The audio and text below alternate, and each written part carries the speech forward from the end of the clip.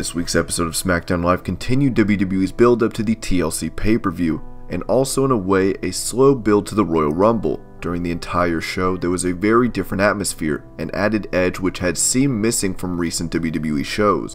On the other hand, the show had some traits which kept it back, as repetitive matches, which is a trend with WWE nowadays, continued to take place. In this video, we will take a look at the best as well as the worst things from this week's episode of SmackDown.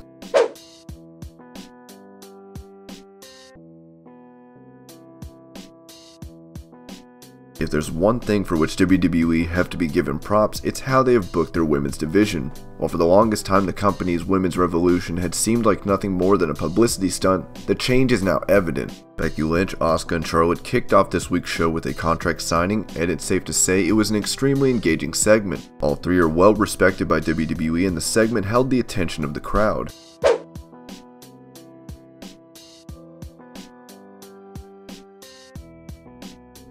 If there's one thing on SmackDown that has always stood out, it's the tag team division. This was a point which was driven home yet again on this week's episode.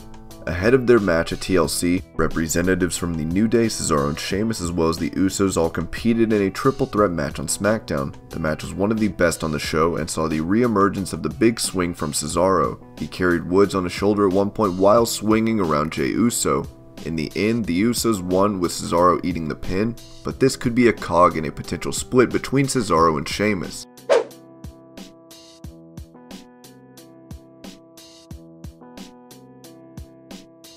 Daniel Bryan was one of the most popular stars for a long time, but recently he has put that all behind him when he turned his back on the universe, adopting a new personality instead. This week he gave a glimpse into his new psyche on Miz TV. He blamed each member of the universe for being hypocrites and destroying the climate. He continued the same thread when commentating during the main event. This show, in a sense, was all about Daniel Bryan, and the new heel Daniel Bryan may be one of the best things about WWE currently. Bryan's later focus on attacking Styles and attempting to injure him only hammered in that point further, that the old Daniel Bryan no longer exists.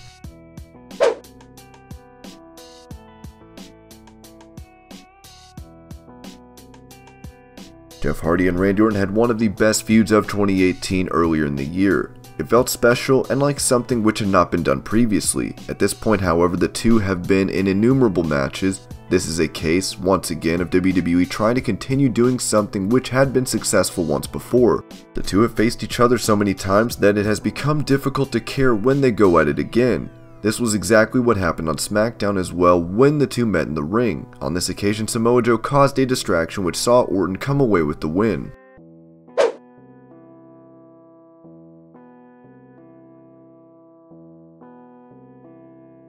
While the women's division has never been in a better shape than it currently is, there are some aspects of the division which do need to change. It's important to push the younger talent in WWE, but with WWE currently giving Mandy Rose a big push, old issues have surfaced once again. Issues where WWE gives pushes depending on how a person looks rather than their actual talent. Rose is still green in the ring, something which won't be a bother after a few more years of experience. For now, however, Rose is not deserving of this push she is getting, something which was evident by the botches she made during her match today.